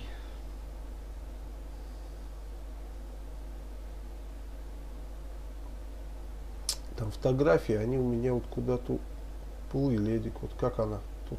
Она такая длинненькая Да фотография. нет, она, подожди, они сами А. фотографии куда-то, видишь, ушли. Ну подними ее вот эту. Ну вот вот сюда, наведи. Вот, нет, вот на эту. Вот, видишь, ты перескакиваешь. Наведи на нее. Ну Ладно, вот, вот, вот, на- вот наведи. вот. Ладно. Ты уже ж навел. Нет, ну оно куда-то ушло. Ладно, фиг Ну подними ее. Ну она ви- не, не, не ворочается. Как Это что ж такое? подниму? Я же тебе говорю, вот, наведи, вот, вот, вот, вот. Все, поднялось. Ничего не поднялось. Ну В вот том-то и здесь дело. тогда. А, вот здесь. Вот такой аппарат придумали для того, чтобы мысли на расстоянии передавать. Но на самом деле в этом нет ничего особенного. Это же не телепатия а в чистом виде. Почему? Потому что если есть аппарат по управлению самолетом мыслями, если там какие-то компьютерные игры, то есть одевается какая-то э, шлем какой-то на голову и, все и вперед и без рук, грубо говоря, можно передавать э, команды, связанные с движением, то почему Ну, это не нельзя? мозг, в э, в мозг, а все-таки из э, прибора в прибор. Ну да, конечно, это при помощи прибора, это же не напрямую. Если как вот э, в советский период занимались там во всяких этих комнатах, помнишь, там различные создавали комнаты и там передавали какие-то образы. И там до 70% образов точно передавалось на расстоянии в несколько тысяч километров. Ну, как бы эти исследования сейчас прекращены почему-то. А это совершенно точно, что это было сделано, и, в общем-то, результаты описаны. Котенок добирался из Египта. Великий компьютерный знаток Мальцев. А я и не претендую на великого компьютерного знатока. Человек не должен знать и не может знать все. Вот э, представьте, я э, мог бы за- заняться компьютером и, конечно, все бы это изучил. Но вопрос, нафига? Наверное, каждый должен заниматься своим делом. От того, что я бы умел нажимать правильно кнопки на компьютере, меня бы здесь не слушало каждый вечер по 50 тысяч человек. Да? Как вы считаете, вот если бы я правильно нажимал кнопки на компьютере, пришло бы мне 50 тысяч послушать человек? Ну нет. Сказать, пошел ты нахер, нажимай их для себя.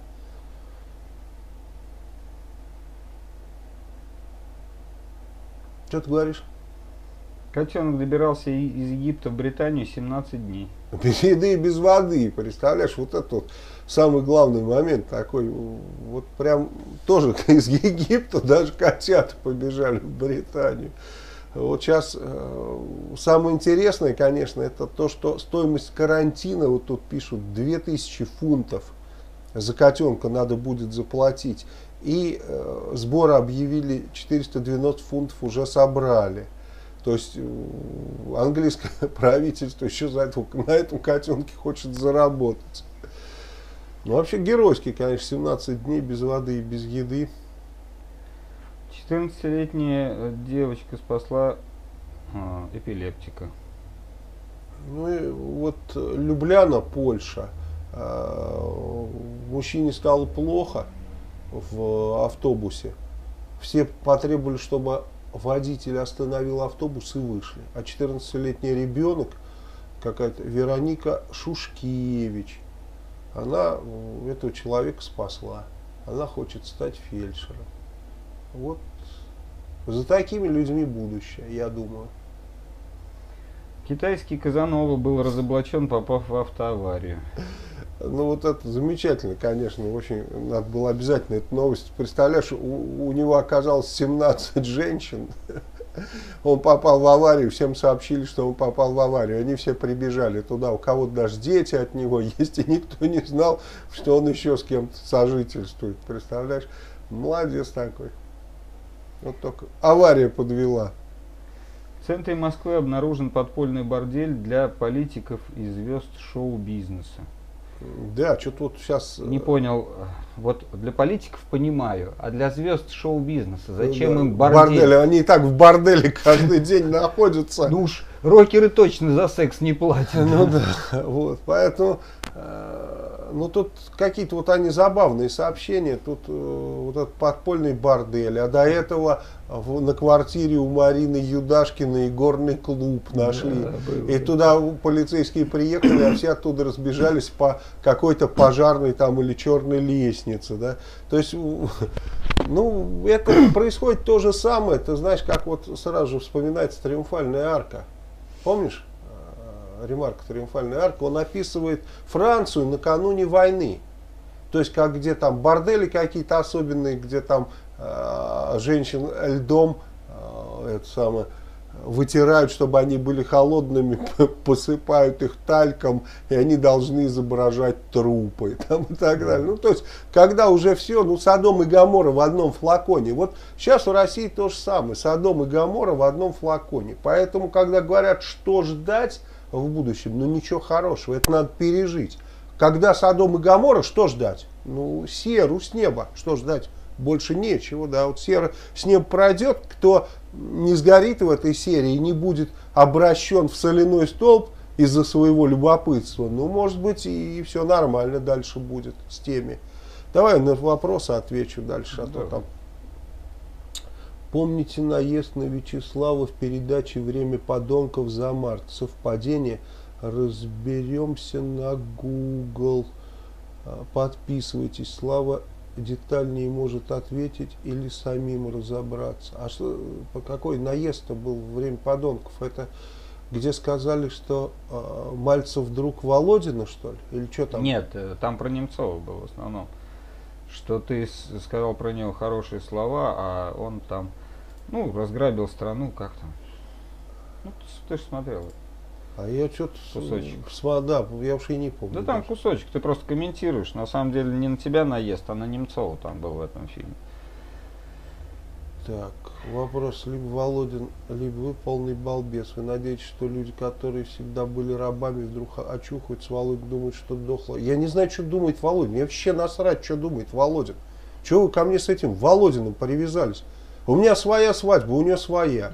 Он хочет отжать это государство с рабами, с этими, с вами, со всеми. А я хочу сделать рабов более-менее свободными.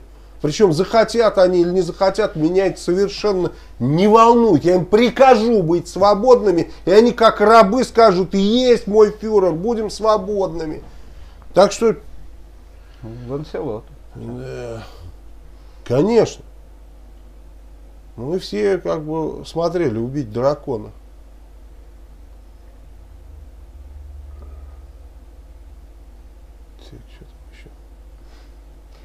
Володин просто хочет стать главной головой у этого дракона, а ты хочешь, чтобы у него вообще не, не было. Не было голов, да, вот это вот э, наша разница очень большая. Добрый вечер, Вячеслав. Расскажите, какой, на ваш взгляд, ожидать развитие Беларусь на ближайший год? И что ожидать самим белорусам? Будет ли изменение? Кто будет президентом после выборов? Ну, президентом, безусловно, будет Лукашенко. Как бы вам это нравилось или не, не нравилось. Почему? Потому что я так понимаю, что он уже со всеми договорился. И с америкосами договорился, и договорился с путинскими, причем с путинскими, наверное, даже меньше договорился, чем с америкосами, потому что тем вот точно ничего не надо менять. Представляете, если сейчас еще, вот и с европейцами особенно, если сейчас там еще что-то загорится, вообще нафиг никому это не нужно. Поэтому говорят, ладно, сколько, сколько там Лукашенко еще просидит? Ну, 4 года, ну пусть просидит. Сейчас самая главная задача разобраться с этим вот Вовочкой. А вот после Вовочки уже можно там с Лукашенко договариваться, разбираться, все что угодно, понимаешь? Потому что они понимают, что сейчас, если тут с Лукашенко они что-то начнут как-то на него давить, это будет только усиливать Путин. Давить нельзя, да. безусловно. Поэтому, конечно, выборы осенью, которые там запланированы или когда они там, они Бедные, состоятся. терпеливые белорусы. Да, белорусам как придется еще потерпеть, причем, так как в России ситуация ухудшается, она, естественно, будет переноситься, это, это ухудшение будет переноситься и на Беларуси. Но у Беларуси есть некое преимущество очень большое перед Россией. Во-первых, белорусов мало, во-вторых, белорус трудолюбивый, и в-третьих, там не уничтожено производство, и система работает. Как бы мы ни говорили, что там вот Беларуси, там трактора Беларусь в основном там отправляет в Россию, там МАЗы в основном в Россию. Ну нет, вот надо фотографию показать, где тащат минометы в Северной Корее тракторами Беларусь, красными такими. Mm. Все-таки еще куда-то находят э, места, куда э, продавать, потому что продукция достаточно конкурентно, конкурентоспособная. И я думаю, что это будет развиваться. Почему так было? Потому что ну, это бизнес. Бизнес старается идти по наименьшему сопротивлению. Наименьшее сопротивление это было э, продавать в Россию. Угу. Сейчас это вызывает определенный напряг. Напряг вызывает, значит, это как вода. Бизнес будет искать другие щели. Сейчас будет с Украиной, там с кем угодно, с Северной Кореей, с Молдовой, с Китаем, с кем хочешь будет договариваться. Еще не факт, что с американцами о чем-то не договорятся. Да? Поэтому я думаю, что сейчас, конечно, там ситуация будет во многом исправляться, потому что э, так же точно действовать, как действовал Лукашенко, он не может. И закручивать гайки сильнее не может. Это парадоксальная ситуация, потому что можно сорвать резьбу. Если бы были какие-то умные консультанты, они бы ему, я думаю, посоветовали, как выстроить систему. Не знаю, найдет он таких или нет. Если он теми же самыми будет пользоваться, кого я знаю, они его приведут очень в плохое место могут привести. Но будем надеяться, что все будет хорошо. В Беларуси производство есть. Ну не до такой степени, как в России, понимаете, конечно, нет. Слава, почему убили Талькова, ваше мнение? Вы знаете, о том, что убьют Талькова, я ровно за год сказала. А, Причем я не знал, кто такой Тальков. Я познакомился с неким рыжим мужчиной, вот, который покурил у меня сигареты э, жетан без фильтра, да, и пока мы курили, разговаривали, товарищ ко мне подходит, говорит, знаешь, кто такой? Я говорю, я не знаю, но я говорю, это явно конституционно-ядерная форма психопатии у человека, и явно он долго не проживет. Он говорит, почему? Я говорю, ну потому что у, у него такая, говорю, агрессия, а сейчас ну, мир очень агрессивный, то есть рано или поздно он нарвется. Я говорю, вот год максимум и нарвется. Так оно и получилось, причем день в день. И это на самом деле не пророчество. Почему? Потому что ну, было видно, что он как, готов к этому. То есть не здесь бы он нарвался, в другом месте бы нарвался, безусловно. Есть понятие виктимность, то есть способность лица становиться жертвой преступления. Конституционная ядерная форма психопатии, это человек, который страдает, и он всегда очень виктимен, супер виктимен. Наверное, труднее найти кого-то, кто был бы еще более виктимен. Поэтому я потом, после того, как встретил этого человека, я послушал его песни, мне они очень понравились. Я, конечно, не, не стал фанатом Талькова, но до сих пор я слушаю его песни, мне нравятся очень его песни. Он, он хороший человек, и как бы я ничего плохого о нем не могу сказать, но что он, как, как и многие э, Звезды был психопатом, для меня это совершенно очевидно. То есть, э, ну, я, я говорю, вы должны понять, что это неплохо. То есть Пушкин был психопатом, чем мы от этого меньше любим, что ли, Пушкина. Ну, это врожденный уродливый характер, ну куда тут денешься? Ну, масса вокруг нас психопатов. Что тут? А то потом скажут, вот Мальцев там обосрал Талькова. Я не обсираю Талькова. Тальков очень хороший, на мой взгляд, был человек. И я очень сожалею, что он погиб. Он мог бы э, много еще э, шедевров бы создать. А вот интересно, где бы он был сейчас? На какой стороне? Шедевры бы он создавал. За Крым наш или за Крым не наш? Не знаю, ты знаешь, для вот мне тоже написали, вы там вот э, прокомментируете свою позицию про, по Крыму, там, которая там в феврале была там и так далее, прошлого года. А, а это очень сложно, вы понимаете? То есть не, не прокомментировать, прокомментировать очень просто. Принять решение тогда было очень сложно. Ты помнишь, насколько угу. болезненно это было решение принять по Крыму? Для нас. Вот. Мы, мы же каждый день об этом говорили, угу. обсуждали, что, что вот, э, как бы, как, какой путь. Для нас понятно было, и сейчас совершенно очевидно, что Крым русский, да, там русские живут, то есть та, то место, где основная масса какой-то одной национальности, оно и принадлежит этому народу. А в рамках какого государства, ну, наверное, это не имеет значения, особенно для людей, которые ненавидят любое государство, ну, как форму, которая угнетает людей.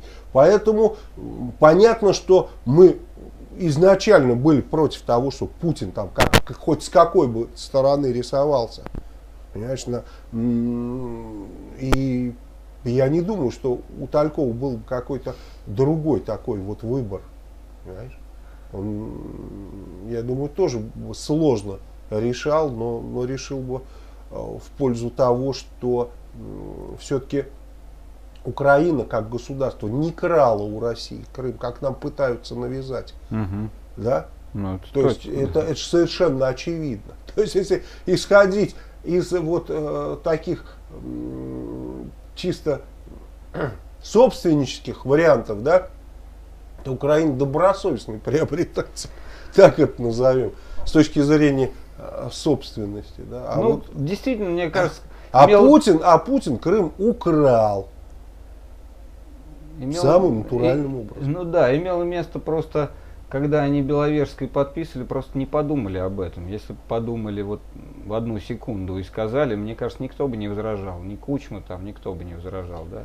А ты знаешь, вот у меня сложно еще семейная в связи с этим ситуация. Как дядя мне говорит, вот когда про Крым мы тогда с тобой обсуждали а, в феврале а, прошлого года, а он мне говорит, а ты вспомни отца твоего за что прессовали.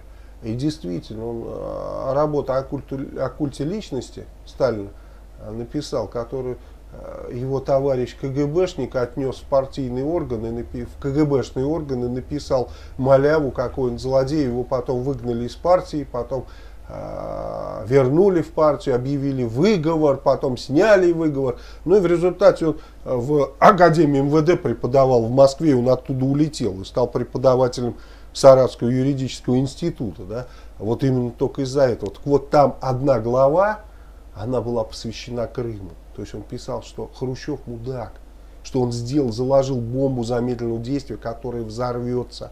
И, и еще мы об этом очень сильно пожалеем. То есть вот поэтому вот как-то с точки зрения такой семейной тоже был очень тяжелый выбор, как вот сказать, наш Крым или не наш, да? Вот такие дела. В любом случае, Крым точно не путинский. В любом случае, Украина, Крым не крала у России. Поэтому то, что сделано с Крымом, это преступление. А за каждое преступление должно неминуемо следовать что? Наказание, правильно. Так,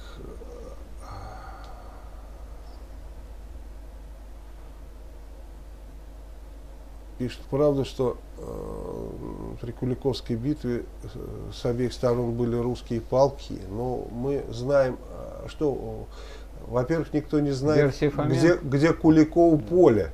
Да, если то поле, которое нам представляют, вы знаете, там ни, одно, ни одной косточки не найдено. И многие вообще считают, что это там вот чуть ли не в заряде там у Кремля воевали. Ну, оставим на их совести. А во-вторых, э, мы знаем, что стороны Мамая э, сражались некие э, кочевники, татарские подразделения, генуэзцы, да, угу. и что... А, кто бился пересвет с Челубеем? Челубеем. Кто тут, как, я все время мучительно вспоминаю, кто, кто из них более русский. Да, вот. Что... И как, как вы помните, Мамай, ну, он не был э, Чингизидом, если вы знаете, да, и как бы у него были свои проблемы там с э, хромым Тимуром и с э, Тамышем, там, со всеми остальными. И поэтому он, конечно, ориентировался на так называемое княжество литовское и русское. Mm-hmm. То есть, да, а в то время, ну, это ни для кого не секрет, когда Дмитрий Донской воевал с Мамаем, а до этого платили дань, Мамай, в свою очередь, платил княжеству литовскому и русскому. Ну и, соответственно, как считают некоторые историки, княжество литовское и русское выставило какое-то количество своих воинов, какой кто там знает, чтобы помочь Мамаю. Как там было, я не знаю. Потом вся эта братва после Мамая, вы знаете, там в общем, это при Грюнвальде, как литовцы называют, войны. Жальгерес, да, там побеждали все вместе Тевтонов, тоже там совершенно разные полки. И татары были, и русские были, и литовцы Нет, были, ну, надо и, пон... и Московия там представлена да. была. Надо понимать, что э, вот даже, да, допустим, пришли монголы-татары, захватили Русь. Ну, во-первых, прошло там 200 лет, да, 300 лет, да, ну, условно говоря. То есть они живут тут уже 300 лет, ну, грубо говоря, до этой битвы. Так кто с кем бьется? Ну, они тут живут, вы представьте себе эти 300 лет, да, условно говоря. То есть они точно так же считают ее, ну, они тут родились, и не в первом поколении, эти монголо-татары. Ну, они да. считают это своей землей, да, условно, если даже они были. Ну, а какие же они, конечно. А если с учетом того, что Э, рекрутов брали из России, да, то за, за эти 300 лет, грубо говоря, вся Орда это русское, русское войско, собственно, было. Ну а куда их? Ели, что ли, когда забирали каждый из каждого десятого двора, да, в Орду? Ну да, ну и пришли, ты же знаешь, э, двумя подразделениями, прикалки, два подразделения по 20 тысяч человек. Ну, будем соединением называть. Хотя на самом деле это не было соединение, это именно подразделения были. Ну, такие просто крупные. Так что... Вопросов много. Я вот склонен во многом Я к тому, что Русь, Русь не 40 тысяч была-то, понимаешь? Ну, да, да, да, я, я к чему? А, а то я мысль не довел до конца. Ну, пришли 40 тысяч, передовой, два передовых отряда по 20 тысяч каждый и захватили Русь. Это как? Ну, так, так не бывает. Тогда имел место национальный предательство. Конечно, конечно, об этом вся идет речь, что э, это был авангард, то к которому примкнули уже те, которые хотели внутренних разборок. Ладно, а то мы что-то угу. зашли далеко. Вот пишут, монголов не было. Не было и нет. Нет. Субудай, как его, Субудай Богатур, да, и Джабе Найон, которые пришли тогда да все здесь, вот я с Фоменко... прикалки, их не было. Я согласен с Субудай, как он, а, воин, тигр с отгрызенной лапой. Вот так его звали, да? Ладно. Что, извини, я перебил тебя. Да не, ну я это, я говорю, что все имена их не, они какие-то русские очень, да, Мамай, Баты, ну, ну блин, ну, да. вот совсем не, не, не вяжется. Челубей. Хорошо. До свидания. До свидания.